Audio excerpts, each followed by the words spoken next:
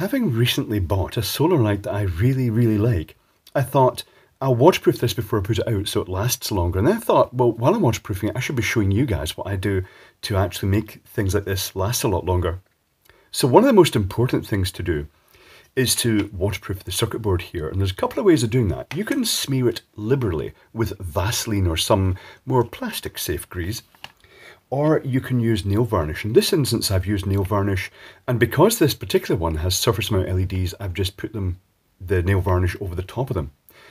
The main things to note when you're doing this are when you've got LEDs like this or uh, little tiny chips like that, if I show you this, I recommend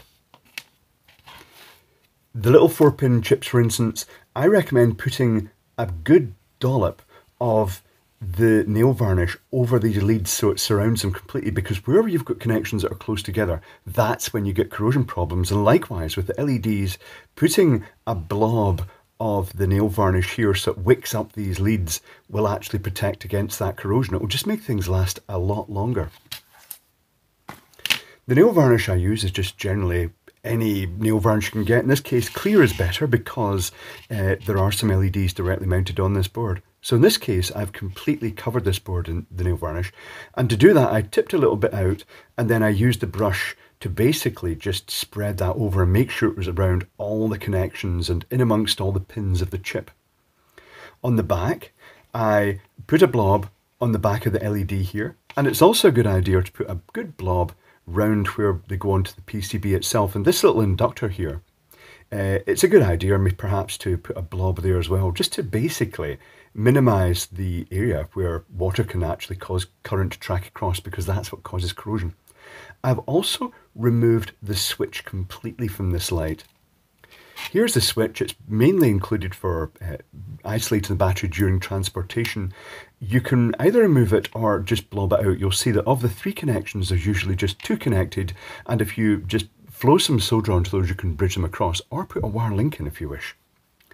The solar panel itself is tricky. Someone recently suggested that with a bit of change in design, they could have mounted the solar panel underneath the plastic. That would have been good.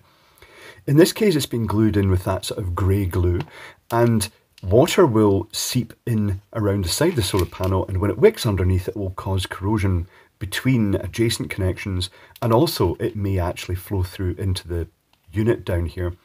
So I've filled it with a bit more hot melt glue, and uh, the there's still the issue that you know if this fills up with water it will gradually cause corrosion but at least this, those connections are quite far apart. However the next thing and this is quite an important one is the battery. Don't hold back the battery because these contacts will almost certainly corrode. And the best way to stop them corroding is to get Vaseline or a grease or grease of your choice and absolutely smear it all over them really get it into them uh, and also on the end of the battery themselves. And what that does is it excludes the water from actually causing corrosion there. It also excludes oxygen, which is good, which uh, is a major factor in that sort of like the rusting of these connections because these are often steel. And that's basically it. Um, by waterproofing your lights when you get them from new, you can make them last a considerable amount of time longer than they would otherwise have lasted. It's really worth doing.